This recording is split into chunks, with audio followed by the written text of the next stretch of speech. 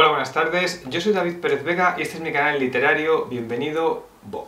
Hoy quería hablar de este libro, La Regenta de Leopoldo Alas Clarín. No es un libro que esté leyendo ahora mismo, en 2022, sino que lo leí realmente en el verano de 2019, hace ahora tres años.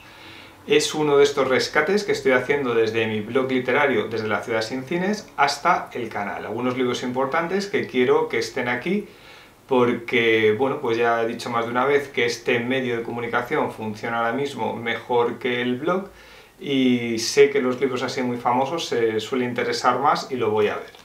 Voy a depender más de mis notas, de la reseña que escribí en su momento, que me la he impreso, porque lógicamente, como lo leí hace tres años, no lo recuerdo también como un libro que acabo de leer. Pero bueno, como mucha gente sé que más que verte en el canal, lo que hace es escucharte mientras se dedica a otras tareas, pues esto funciona como un podcast y al final creo que no tiene mayor importancia que se vea leyéndolo. Vale, de entrada eh, quería recordar una conversación que tuve en el colegio donde trabajo a finales de 2019 con un compañero, un profesor de lengua que se llama Pedro Corrales, y siempre teníamos, hablábamos de literatura y siempre hablábamos de la idea de pues que mejor leer los clásicos que las novedades, que yo lea muchas más novedades por entonces que mi amigo, eh, había vuelto a releer El Quijote hacía no mucho y me faltaban algunos de los grandes clásicos españoles. Y como mi amigo había estudiado Filología Hispánica y yo no, yo estudié Administración y Dirección de Empresas, pues estábamos hablando de los clásicos que me faltaban y sobre todo pues debía leer las grandes novelas que eran Fortunata y Jacinta de Benito Pérez Galdós y La Regenta Leopoldo Alas Clarín. A mi amigo le gustaban las dos mucho, pero me dijo que un poco más La Regenta. Entonces la Regenta la leí en el verano 2019 y mm, el, otro, Fortunata y Jacinta, lo leí en el verano 2020. Los dos me encantaron, los dos me parecen eh, dos de las grandes novelas de la literatura española. O sea, en el número uno yo pongo, ya lo he dicho más de una vez aquí, El Quijote y en el segundo o tercer puesto pues a lo mejor una semana puedo poner La Regenta y otra semana puedo poner Fortunata y Jacinta. Yo creo que probablemente esta es la número dos publicada en 1884, que es cuando lo acabó el autor, pero bueno, el editor dijo que se publicaba mejor en dos partes y sacó los 15 primeros capítulos en 1884 y los 15 segundos en 1885, es una novela bastante larga que tiene como mil páginas. Eh, no lo he dicho, pero mm, Leopoldo Alas nació en Zamora en 1852 y murió en Oviedo en 1901.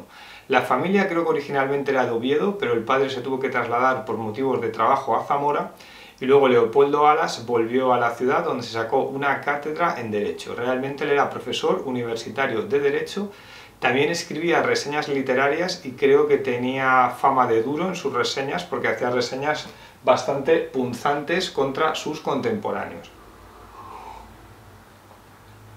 Lo cual creo que cuando salió su novela La Regenta algunos eh, compañeros de profesión aprovecharon para, ir contra él, aunque realmente era una novela bastante buena. Eh, quise leer una edición que existe, publicada por la RAE, con notas, como estas que he sacado aquí alguna vez, de Cien años de soledad de García Márquez o la propia del Quijote, pero es que esas ediciones de Alfaguara y la RAE realmente yo creo que sacan ediciones muy pequeñas que se agotan enseguida y luego es difícil encontrarlas en librerías de segunda mano eh, incluso en bibliotecas públicas. Entonces al final, como no lo encontraba en ningún lado el libro, fui a la biblioteca del Retiro, la que se llama Eugenio Trías, y acabé sacando una edición que tienen allí de... Eh, ¿Cómo se llama? La editorial es Alianza, con un prólogo de Ricardo Gullón. Para hacer este vídeo he vuelto a la biblioteca Eugenio Trías pero esa edición de Alianza a la que estoy hablando la habían sacado en préstamo entonces tomé para hacer el vídeo esta, que es de Austral, aunque no es la que yo leí ni tiene el mismo prólogo, las mismas notas, etcétera. Pero bueno, para hacer el vídeo y mostrarlo aquí, pues yo creo que nos sirve porque al fin y al cabo es un libro en español, no hay que hablar de traducciones, así que nos da un poco igual esto. Vale, eh, cuando uno se acerca a la regenta, Em, me ocurre lo mismo que me ha ocurrido con otras novelas del siglo XIX, que tienes como un choque estético, porque la novela del siglo XX o el XXI empieza como haciendo moverse a los personajes en un escenario, y es muy raro ya en una novela del siglo XX o XXI que el narrador, el escritor, empiecen describiendo una ciudad y luego de ahí pasen a describir a los personajes, que es exactamente lo que pasa aquí. Se describe la ciudad de Vetusta, que se supone que es un trasunto de la ciudad de Oviedo, en la que vivía el autor, y hace una descripción de la ciudad de provincias. Primero empieza a describir Vetusta, luego cuando se acerca a algún personaje, el narrador te dice, le dice al autor lo que tiene que pensar sobre ese personaje en vez de dejar actuar al personaje que mediante sus actos el lector se forme pues una idea de cómo es este personaje. Ya digo que en un principio esto a mí me supuso un choque estético. Así por ejemplo, después de describir Vetusta, cuando aparecen los primeros personajes principales, que es Fermín de Paz, el magistral de Vetusta, un, sacerdote, eh, nos informa el narrador. Vetusta era su pasión y su presa. Lo que sentía en presencia de la heroica ciudad era gula, y bastante resignación era contentarse por ahora con Vetusta. Vale, es un personaje muy ambicioso y nos lo dice desde el principio. Esto me recordó al comienzo de una novela famosa del 19 que es Rojo y Negro de Stendhal. En Rojo y Negro también el narrador empieza haciendo una descripción de la ciudad de Berrieres y más tarde empieza a explicar al lector cómo son los personajes. Yo creo que hay más de un punto en común entre el narrador de Rojo y Negro y el narrador de La Regenta, ya digo que comienzan de un modo similar. Yo creo que sin duda Clarín había leído estas grandes novelas del 19. Es frecuente que en todos los estudios se compare La Regenta más bien con este libro, con Madame Bovary, que es de 1857, eh, de Gustave Flaubert. Eh, entonces, esta relación que se encuentra entre Madame Bovary como, como una mujer insatisfecha y la regenta, que es otra mujer insatisfecha, los amantes que pueden llegar a tener, esta relación ha eclipsado la posible relación que tiene la regenta con rojo y negro, que también la tiene con él, porque ya digo que al principio rojo y negro habla de Sorel que seduce a la señora de Renal, donde empieza a trabajar como preceptor. Y hay una idea aquí, cuando Álvaro Mesía intenta seducir a Ana Ozores, la regenta, hay un tema parecido también. También se me ha olvidado sacarlo, también puede haber una relación con otra de las grandes novelas de mujeres adúlteras del siglo XIX, que sería Ana Karenina, de León Tolstoy, que puede haberlo sacado, pero es que me lo he dejado en la otra habitación y ya que empezó este vídeo no voy a ir allí a por ella. Vale, eh, la línea argumental de la regenta, por tanto, no es nueva. Cualquier lector español del siglo XIX que recibía a la regenta pues conocía estas historias de la mujer insatisfecha eh, y la posible seducción por parte de un don Juan.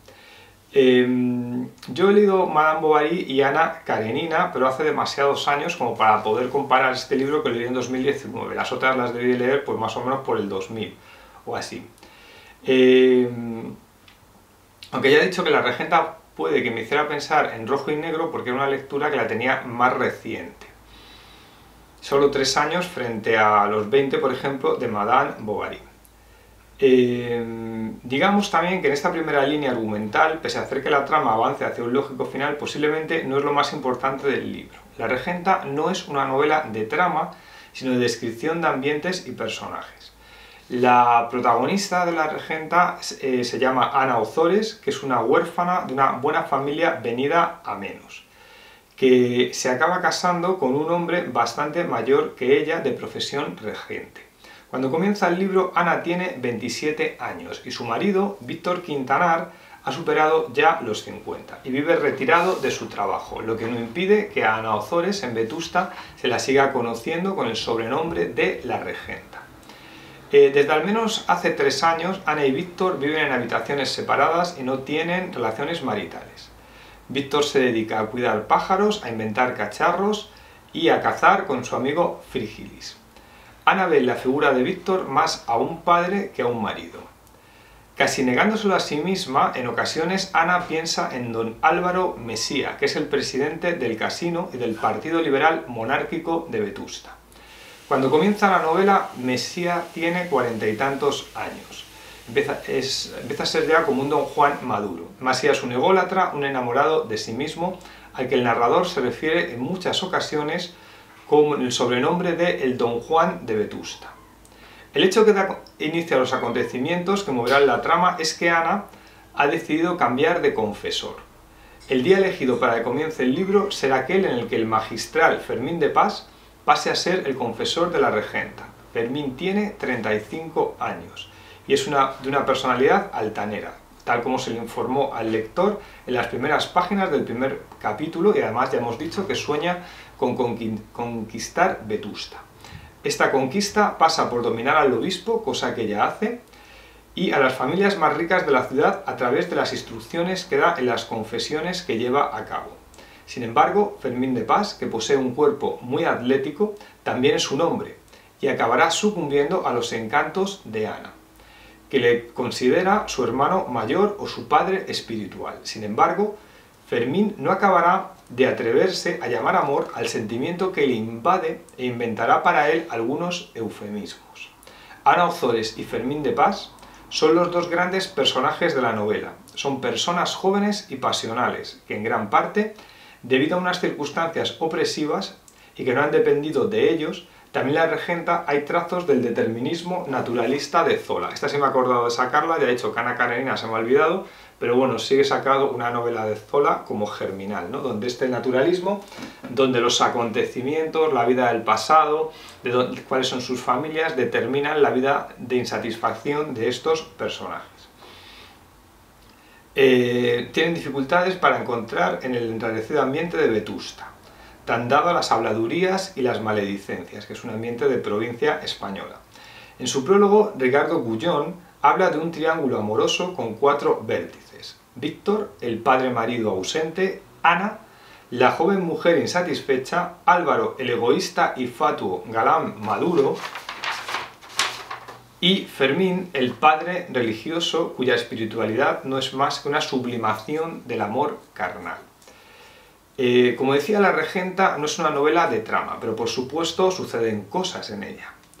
Pero mucho más importante que la descripción de los sucesos que van a tener lugar será la descripción de los pensamientos y de las sensaciones que los protagonistas sienten sobre esos sucesos. En este sentido, la evolución de las pasiones de Ana, muy dada a los extremismos bipolares, se describe de un modo realmente sutil, magistral. En gran medida, la regenta le sirve a Clarín para hablar de Vetusta, una ciudad detenida en la provincia, de la que describirá el ambiente moral y social. Esta pequeña sociedad funcionará como ejemplo de lo que para el autor considera que era la España de la época y posiblemente el mundo. Cuando describe la sociedad de la época, el estilo de Clarín es muy irónico, muy sarcástico. En este sentido, destaca, por ejemplo, en el capítulo 6, que se habla de la gente que va al casino, y del que hemos dicho que Álvaro Mecía, o Mesía, perdón, es el presidente. Estas personas discuten normalmente sobre asuntos que desconocen. Con gracia y dardos envenenados, un recurso que usa Clarín para burlarse de estos personajes, es el de comentar que hablan de obras literarias o del pensamiento que no han leído. Así, por ejemplo, Víctor Quintana es un gran aficionado del teatro de Calderón y de Lope, y le gusta menos el Don Juan de Zorrilla, y apuntará que prefiere el de Molière. A Clarín le falta tiempo para comunicarle al lector que Quintanal no ha visto representado ni ha leído el Don Juan de Molière. La ironía de Clarín me ha recordado a la que usa Cervantes en el Quijote. Pero Cervantes no era tan venenoso como Clarín. Cervantes parecía más dispuesto a perdonar las debilidades humanas. El lenguaje de Clarín es muy vivo, entre otras cosas porque en muchas ocasiones, gracias a la técnica del estilo indirecto libre, cede la palabra a los personajes. Clarín refiere sus pensamientos o sus pensamientos o transcribe eh, sus monólogos interiores. Así, por ejemplo, podemos leer, Obdulia se acercó al dignísimo Pedro y sonriendo le metió en la boca la misma cucharilla que ella acababa de tocar con sus labios de rubí. Ese rubí es, es del cocinero. Así que el mismo narrador le indica al lector que está usando un estilo en directo libre tomando el vocabulario de un personaje. La verdad es que esto consigue un buen efecto cómico. Según he leído, Clarín escribió La Regenta en relativamente poco tiempo y se publicó sin que hubiera podido revisarla tanto como le hubiera gustado. Ya he dicho que se publicó en dos volúmenes, eh, primeros 15 capítulos en 1884 y los 15 restantes en 1885. Durante la primera parte es normal que Clarín le adelante información al lector. Por ejemplo, en el capítulo 6, cuando se describía el casino, leemos Pero de esta tertulia de última hora tendremos que hablar más adelante, porque ahí asistirán personajes importantes de esta historia. O también, en su traje pulcro y negro de los pies a la cabeza se, veía algo de Frígiles, personaje darwinista que encontraremos más adelante que llamaba adaptación a la sotana. En algunos estudios se comenta que es posible que Frígilis sea el personaje que se identifica más con la figura del autor, un hombre solitario que vive en Vetusta, pero que solo se siente en comunión con la naturaleza, y al que los demás toman por un loco, porque en todas extravagancias cree, por ejemplo, en las teorías darwinianas, algo que en Vetusta no estaban dispuestos a aceptar a finales del siglo XIX. Para dar mayor sensación de realismo a la obra, eh, Clarín compara los sucesos que ocurren en la novela con los que se puede leer en los libros, así entrecomillado, ¿no? Eh, siendo eh, los descritos por él más veraces. Así en la página 362 leemos ¿Cuántas veces sonreía el magistral con cierta lástima al leer en un autor impío las aventuras ideales de un presbítero? ¡Qué de escrúpulos, qué de sinuosidades, cuántos rodeos para pecar! En más de una ocasión el narrador se refiere a Víctor Quintanar como Quijote. De alguna situación se dice estas son necedades de novela o aquel gran escándalo que era como una novela. Eh, de la criada Petra, que acabará siendo fundamental para el desenlace de la novela, Clarín dirá que discurría perfectamente sobre los problemas de infidelidades porque leía folletines. He tenido la sensación de que al hablar de un mundo de referencias literarias, eh, Clarín lo hacía de un modo irónico. Igualmente, cuando se refiere a sus personajes con adjetivos como el idiota de Don Víctor o la pobre huérfana, le está diciendo al lector lo que tiene que pensar sobre lo que lo está leyendo, un recurso muy del siglo XIX, pero también lo hace, creo, de una forma irónica.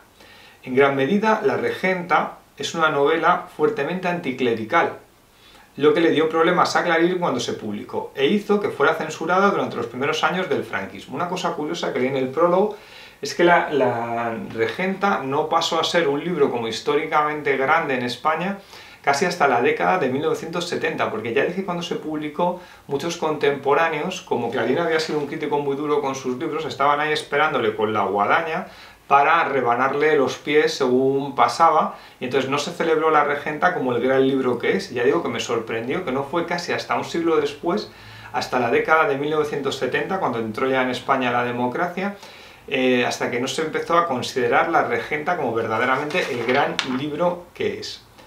Eh, uno de los aspectos que más me han llamado la atención de la novela es la radiografía de la hipocresía social de la época.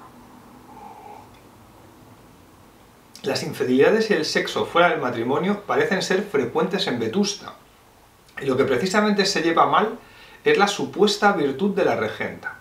Muchas personas desean que don Álvaro seduzca a la regenta porque no aguantan su virtud, desean verla caer, en el fango del humano que ellos habitan. Lo curioso es que hay personas cuya doble moral es tolerada y otras que no. La burla que Clarín hace de todo esto es muy divertida. Como ocurre con el Quijote, en las grandes novelas españolas el humor es algo fundamental y frecuente.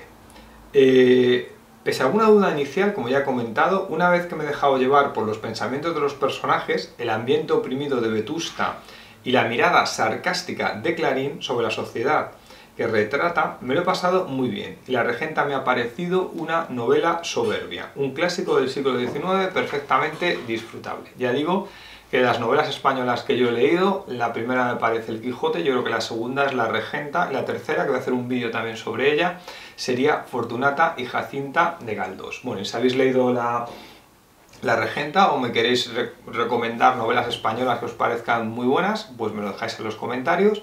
Y aquí ya vamos a llegar al momento spam. Eh, esto no es Bambi, mi última novela publicada con seis voces narrativas, tres hombres y tres mujeres que hablan del mundo laboral de los auditores de cuentas, experiencia que yo viví en una de las llamadas Bitfight, eh, la mía era Arthur Andersen, y hablo del trabajo de las jornadas maratonianas de 18 o 20 horas, pues con terror y con ironía. Es un libro eh, crítico pero también cómico. Dejo por aquí algún enlace, algún vídeo en el que hablo más extensamente de esta novela.